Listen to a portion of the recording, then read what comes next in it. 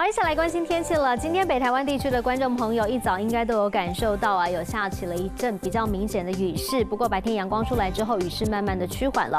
但是我们要提醒大家的就是呢，接下来在下半天天气状况会变得更不稳定一些。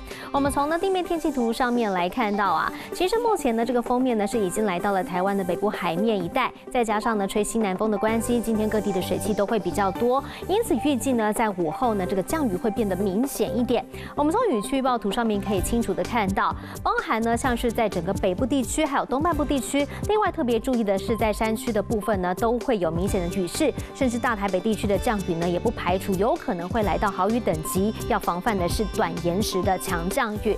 接下来呢，到了晚上之后呢，这个雨势会慢慢趋缓下来。不过没有降雨的时候呢，各地还是比较闷热，提醒大家要特别注意了。接下来带您关心各地详细的温度预测。好，首先我们来看到，在金龙、台北跟新北市呢，都会有降雨，高温来到三十度。桃园、新竹跟苗栗也要注意午后的降雨，温度是二十七到三十一度。台中、彰化跟南投都会有降雨，尤其山区的雨势会比较大，要特别留意。园林、嘉义跟台南今天一样也会有雨势，高温来到三十二度。高平地区今天也要防范会有雷雨发生的机会，高温来到三十二度。再来看到东部地区，宜兰花莲会有降雨，在台东今天是多云，高温来到三十二度。